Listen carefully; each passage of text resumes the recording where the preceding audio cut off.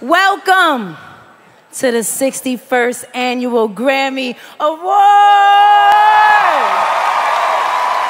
On the 24th of November, the most anticipated award show globally, the Grammys, released its nominations for 2021.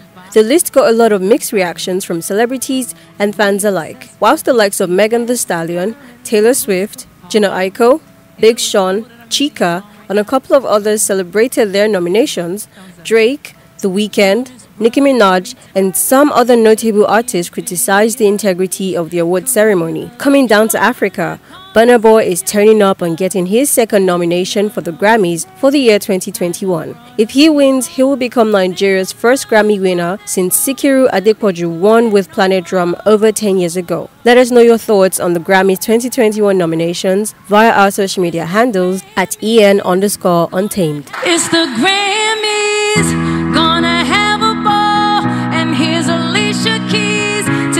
you through it. It's entertainment untamed.